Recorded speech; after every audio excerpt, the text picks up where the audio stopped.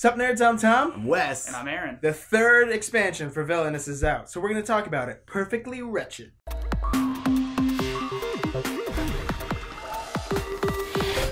Remember in our last video for Villainous where I was like, the next expansion definitely needs to be a big box, and they were like, nope. We've already covered the base game and the other two expansions in previous videos. We'll have links to them below so you can kind of get the basic overview of the base game and how it works and kind of see what the other villains have to offer. In this game, you get Cruella de Vil, you get Mother Gothel, and you get Pete. Steamboat Pete. I think it's just Pete. It's I know, but it's like the Sneaky Pete. Steamboat Yeah. Pete. Like From, From from, Steamboat Steamboat Willie. Willie. Which is a very, like, if you, it's on Disney Plus, and I went and rewatched it, it's just like a seven minute cartoon that I'm like, man, really, really old cartoons were weird. It is important to know if you haven't bought into the whole villainous experience that this expansion is and like an expand alone. You don't need to buy the base game or any of the other expansions. You can just pick this one up and play it by itself with three people. two Get- or or two, two. players. yeah, get the experience of the game and find out do I want to buy more of this and have more characters and play bigger games? I will say, though, I don't know if I would recommend this as somebody's first one. No, I wouldn't. Yeah. I mean, Pete is a good one to offer to someone as their fir- like if it's their first time playing because kind of it seems like the easiest one. But overall, like these other two characters, like the, they don't really mesh well together and balance well together. I don't think as a first. Yeah, as a first time play. I think Pete's is the is the best one to give to somebody as their first time to be like, I feel like you can handle this. This one's complicated. There's five different things you have to do to win, but you pick four. And when really it, it's like, oh, this is this It- is straightforward. The reason why it's straightforward too is you don't have like one big goal that with multi steps to get through. It's you have four small goals you can focus on one at a time. Mhm. And they add some like he's sneaky Pete, so like they're hidden goals and people don't know what they are. And there's only four of them, but there's five available, so you're trying to figure out which ones.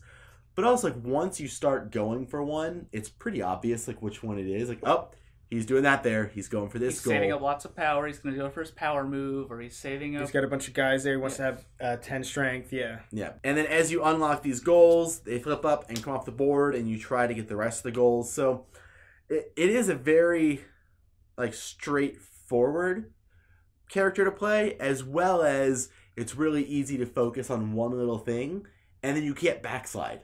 That's probably one of the biggest things is like in the base game um the guy who just wants the the Prince John. He Yeah, just he just wants, wants like power. 10 power or Or 20, 20 power. power. Yeah, yeah. You can gain and lose it a lot Yeah, throughout the there's game. cards that like kill half your power. Yeah. So like that one, like you're so close, and then you go backwards. This one, like once you get two done, you're fifty percent there at least, and you're never gonna go. If they Un- know what it is, they can backslide you from being able to complete it. But once you complete it, it's done. Yeah. Once you're 25% of the way there, you're you're done. Once you're 50% of the way there, you're done. Uh, Mother Gothel, on the other hand, she has she wants to have 10 trust, and there's trust is a lot of cards that will you play will will get you trust. You also have Rapunzel is always out there. You always have a hero here who is covering up the top half of your actions. Luckily, two of them you're it's only covering one action, so it's not that bad. And you do have an extra thing where you have to remember to move her towards uh, this place um, at the end of every at the end of your turn. which I don't think we can say right now on YouTube. Where I didn't see it. the evil queen from Snow White and the evil com- no the purple Pur- expansion. purple expansion whatever that one was called she had gained poison tokens which is just uh, power tokens that you place over here and they're poison i thought they really really easily. Could have put just a second little piece of punch board with some poison tokens in there. Same exact stupid complaint for trust tokens. Totally could have been a thing of 10 trust tokens because that's the max you could have put 11 or 12 in there if you made them smaller and fit them in there for whatever funky reason but uh or, yeah or like a slider, like a, a tracker with one little Anything. thing that like went anything down. better than just just use the same token and place them here because And they'll we're being up. lazy. Yeah, it's so easy to get mixed up and knocked over and mixed into like, your other oh wait, pile. was this my power? It, like Uh. with Cruella, they did it right. They gave the puppies printed on separate tokens, so they we know they have the and so, they- and him too. we know they can do it. Why were these not? What what the hell? So with Cruella, you're trying to capture 99 puppies, and you have a bunch of puppies on these tokens, and you can you could technically win the game by capturing five tokens because there's four of them that have 22 puppies, and then the other five have 11.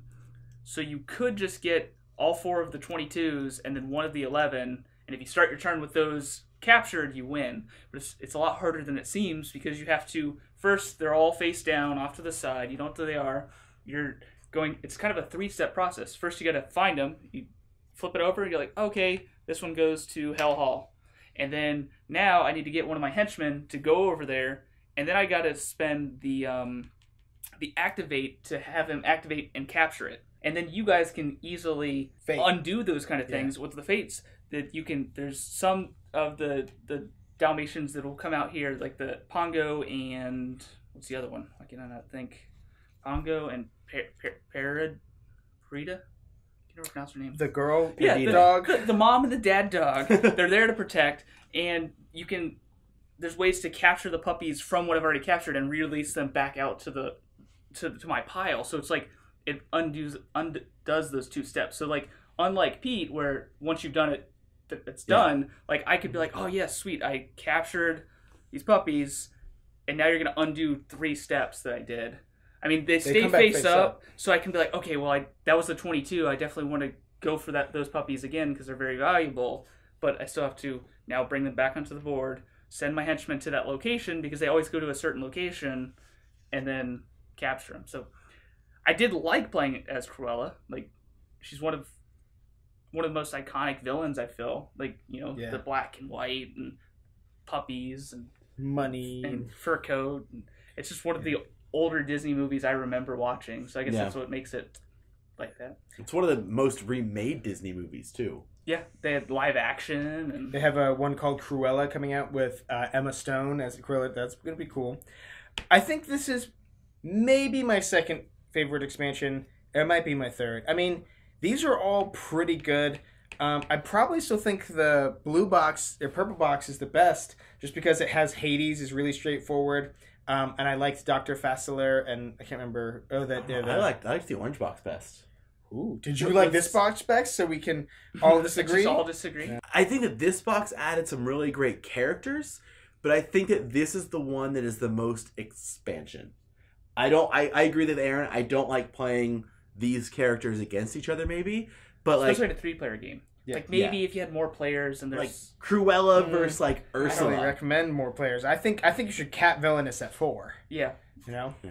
But but playing like Cruella with some of the more complicated characters Mm-hmm. and playing Pete against some of the simpler characters, like that might be a better user experience. I do think Pete Pete does sound like he's a complicated character, but he really isn't. Yeah, I do like like the hidden like it.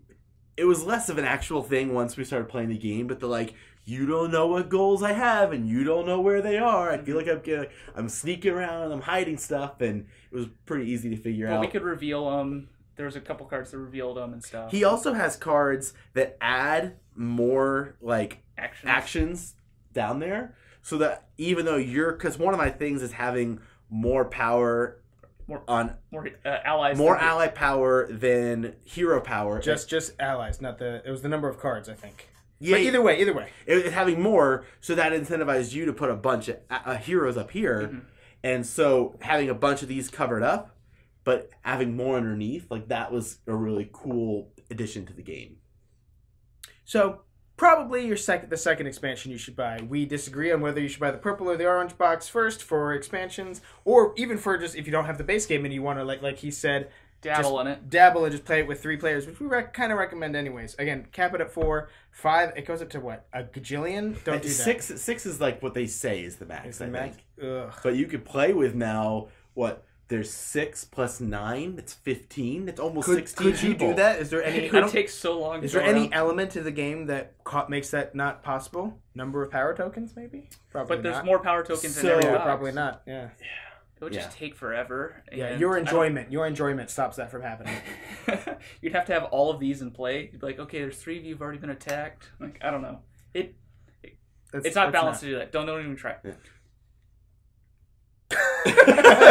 We'll have a link in the description box down below where you can get yourself a copy of this new expansion, all the other expansions, and the base game. as well as links to all of our previous villainous videos for your viewing Enjoyment. vi- vivaciousness.